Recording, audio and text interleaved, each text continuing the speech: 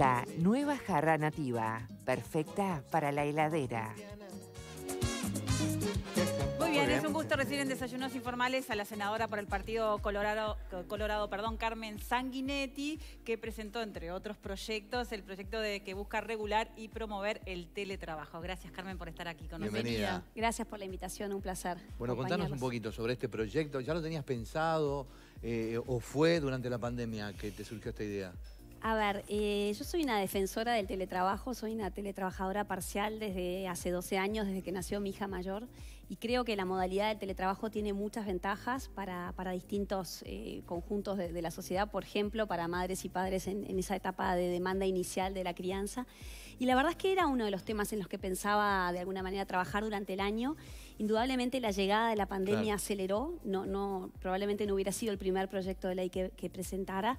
Lo, presenté, lo presentamos el 20 de, abril y un poco lo que nos pasó en, Uruguay es que a diferencia de la gran mayoría de los países de la región o los países de Europa, eh, llegó la pandemia y no teníamos una regulación sobre esta modalidad de trabajo. ¿no? Casi todos los países de nuestra región, de nuestro continente ya tenían una regulación, entonces la pandemia los encontró con que estaban los parámetros ya, ya establecidos. Y nosotros no.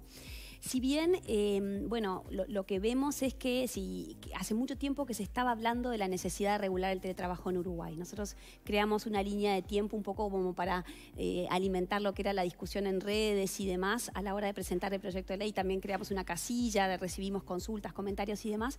Y en esta línea de tiempo mostramos como hace cuánto tiempo que se está conversando de este tema. Se había presentado un proyecto de ley hace mucho tiempo sobre el tema de crear un comité para, para empezar a estudiar el tema.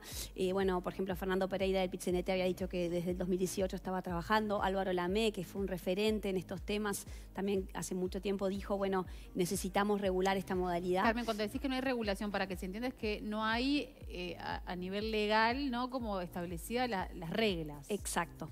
Lo cual eh, implica que se le aplican reglas de legislación laboral que fueron pensadas hace muchísimo tiempo, hace capaz 100 y que años. Nada tienen que ver con la realidad. Que no, tienen, claro, que, que en ese momento la del teletrabajo no era ni siquiera una posibilidad de ciencia ficción, o sea, realmente no, no estaba en el, en el, horizonte de posibilidades. Entonces, esta modalidad de trabajo requiere, eh, desde nuestra perspectiva, una regulación que se adecue a, las necesidades específicas. Tanto para el empleador como para el trabajador. Exacto, exacto. Y, bueno, y nosotros, como, como les digo, yo creo que para un país como Uruguay, que tiene un mercado chico, eh, y, lo, lo, entendemos como, como un vehículo de inclusión social, lo entendemos como una modalidad que nos puede ofrecer muchas posibilidades, como les decía, para madres y padres, para personas que viven lejos de los centros poblados, ¿no? Eh, de las grandes ciudades y demás. Vos capaz que te criaste toda la vida en un, así, en un medio rural, por ejemplo. Sí, la descentralización. Exacto. Sos un nativo digital porque tuviste una ceibalita y bueno, y salís y querés quedarte cerca de, tu localidad y eso el teletrabajo te lo permite. Eh, digamos, tiene un montón de, ventajas que, nos parece que, es bien importante fomentar el teletrabajo para, para un país como el nuestro. ¿Cuáles son los puntos así fundamentales, por ejemplo, la obligación del empleador? Bueno, el, proyecto es un proyecto... Eh, de mínima, digamos. En definitiva, es un proyecto liviano en el sentido que busca em, estipular derechos y obligaciones, pero que no encorseta el teletrabajo. ¿no? Entonces, en definitiva, lo que hace es un, son 13, creo que ahora le agregamos algunos, algunos artículos más, estamos justo en, las últimas etapas. En definitiva, em, define qué es el teletrabajo, esta modalidad, define el concepto de teletrabajador, eh, por ejemplo, explicita que eh, existen los mismos derechos y obligaciones. Lo que cambia es la modalidad de trabajo, ¿no? No lo que tiene que ver con la posibilidad de afiliarse a sindicatos o con la posibilidad de em, tener las mismas posibilidades de carrera, ¿verdad? Em, tenemos algunos principios que son principios básicos del teletrabajo que tienen que ver con la no discriminación, por ejemplo, em, que sea voluntario. Esto es bien, bien importante también aclararlo porque el teletrabajo tiene que ser voluntario por ambas partes, ¿verdad? Eh, por eso es que lo que nos pasó en la primera etapa de la pandemia, en definitiva, no era un teletrabajo en condiciones regulares. ¿Por qué? Porque, bueno, vino el, mandato del Poder Ejecutivo que decía quédense en sus casas, entonces los, trabajadores no estábamos pudiendo elegir y muchos empleadores tampoco, ¿no? Entonces, el teletrabajo en condiciones normales es, eh, por eso decimos que es una regulación pro trabajador, es el trabajador que está eligiendo eh, esta modalidad de, de trabajo. En cuanto a hora- horarios, eh, el tiempo de descanso, ¿cómo se Sí. regula todo eso? Bueno, nosotros contemplamos la limitación, eh, una innovación para un país como, como el nuestro es que pusimos la limitación basados en, en- en las horas semanales y no las, en las horas diarias. Y esto nos parece bien importante. ¿Por qué? Bueno, porque justamente teletrabajo y posibilidad de manejar los horarios en aquellas eh, disciplinas que lo permitan, ¿verdad? Claro. Porque capaz que uno trabaja en un call center y bueno, tiene que haber unas ocho horas rígidas. sí, porque y- hay atención al público. Exacto. Pero después muchas de las eh, tareas que se realizan, o sea, que se pueden realizar eh, de, de manera vía a través del teletrabajo, en realidad no importa mucho en qué momento se hacen, ¿verdad? Pero Y- cumplir con, las- con Sí. los objetivos. Exactamente. Claro. Entonces, por ejemplo, yo siempre digo, bueno, para los que somos madres, bueno, poder ir a buscar al niño a la escuela, esa media hora que uno capaz que pierde, es irreemplazable en otro Sí, sí. momento del día y, y- y uno felizmente la, la Claro. digo, Claro. capaz que si te trabajas el doble de Claro, tiempo. sí, hay pero- otros que de repente piensan, este, a ver, yo ri- me, me di cuenta que rindo más a las 11 de la noche. Claro. Y Claro. trabajo de 11 Bueno, a muchos 2 de la mañana. que Claro. trabajas mucho más en tu casa porque terminás como Claro. dedicando Bueno, eso es el otro riesgo, el trabajar más horas y por eso no- uno de los artículos incluye el derecho a la desconexión. Porque yo creo que en definitiva y esto... aparte con los celulares también hay, ¿no? Hay como una línea muy Exact- fina entre estar todo el tiempo respondiendo. y Exactamente. estar, eh.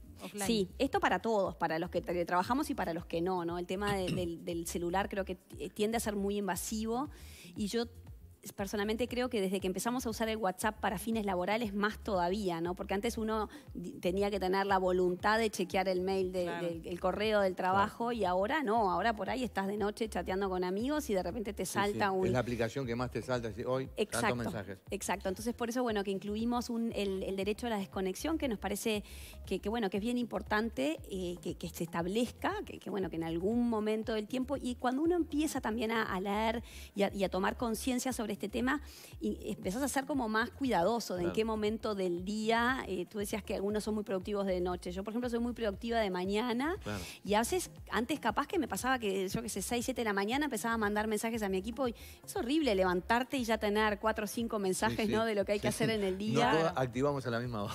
Exactamente, Claro. exactamente. Entonces, bueno, nos parece que esto es un avance importante. Hemos venimos recibiendo, como les decía, se presentó el 20 de abril, hemos recibido muchísimas eh, delegaciones, la, la Cámara, distintas cámaras que han venido a darnos su, su devolución y su Claro. postura sobre este tema. Y, Y a nivel político hay como un consenso de poder este Sí, hay un consenso en la necesidad de regular, sin duda, y en términos generales hay, hay sin duda un consenso. Eh, la idea es justamente, presentamos la, la versión final de- del proyecto ayer, con toda la incorporación de toda esta devolución que nos hicieron los distintos actores, que son los que se ven, eh, digamos, afectados por, por esta regulación, y, y ojalá lo podamos votar hoy en la, en la Comisión de Todavía Asuntos no hay una respuesta a nivel gubernamental. Eh, bueno, el Ministerio de Trabajo se pronunció a favor, Sí. sin Ajá. duda, sin ¿Hizo duda. algún aporte? Sí, ¿Algún- hicieron muchísimos aportes que contemplamos en su enorme mayoría, por no decir en su totalidad. Eh, hicieron un análisis artículo por artículo muy pormeno- pormenorizado. Indudablemente ellos eh, tienen el, digamos, el, el know-how de esto porque están todo el tiempo interactuando con esta temática eh, y están eh, muy a favor del proyecto y muy urgidos porque se apruebe, por un poco por lo que les decía, que ahora que se está flexibilizando Claro. el tema a nivel como laboral, no, están, no, no está ese marco, ese marco regulatorio que es tan necesario. Carmen, ¿y qué pasa con los accidentes? Porque los accidentes laborales, eh, con el- ¿se va a mezclar el- los accidentes domésticos o no? No sé, sí, pero... sí, pero- ese es uno de los puntos más sensibles. eh, en definitiva, aplica la misma ley de, de accidentes laborales que es un poco parecido, por ejemplo, al, al caso de- del servicio doméstico, del trabajo de, de los, de los trabajadores domésticos. Eh, es uno de los puntos más difíciles, si se quiere, esto de, bueno, qué se considera un accidente laboral y qué es un accidente Doméstico. de- doméstico. Eh, pero bueno, como les decía, se aplica la, la misma, la misma ley, eh, está la posibilidad de que en definitiva sea una inspección ocular, que es lo que se realiza en estos casos como para poder eh, evaluar y discernir eh, este tema que es sensible. Tiene, eh, el teletrabajo tiene algunos componentes sensibles y por eso yo creo que es nos demoramos tanto, ¿no? Y por eso es que nos encontró el, el 2020 sin esta regulación.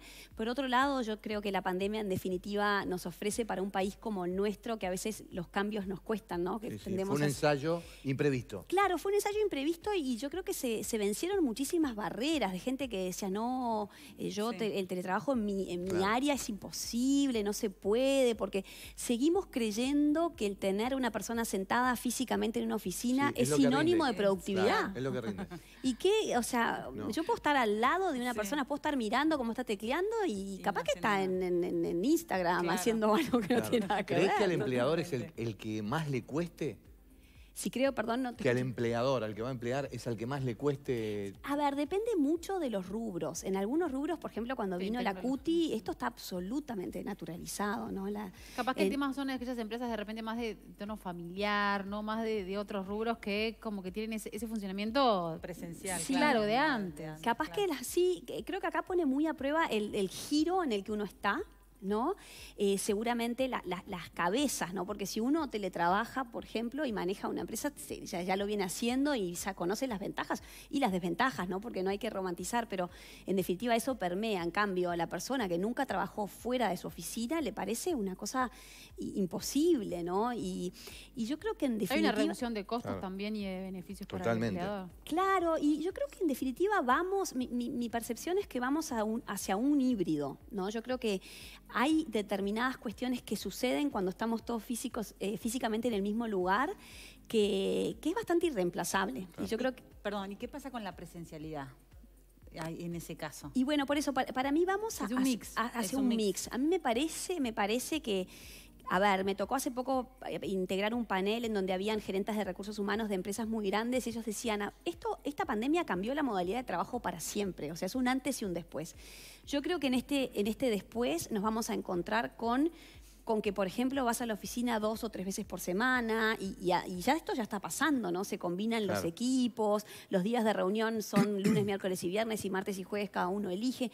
Me parece que vamos hacia ahí. Y el material de trabajo es- está a cargo del empleador, el tema del uso del internet, de, la- de los datos que Claro. uno usa, ¿eso Este cómo es sería? otro de los temas como muy sensibles, porque en definitiva, de vuelta, acá hay un equilibrio. Nosotros Claro. no podemos pensar que esto se aplica a las grandes multinacionales, por ejemplo. Eh, acá, cuando vino la CUTI, fue bien claro en decir, eh, de las 390, creo, hay 350 que son pequeñas y medianas empresas. Entonces, si uno se pone muy exigente a la hora de qué tiene que pagar el empleador, y capaz que estamos matando las fuentes laborales, ¿no? Estamos, eh, digamos, es un equilibrio fino.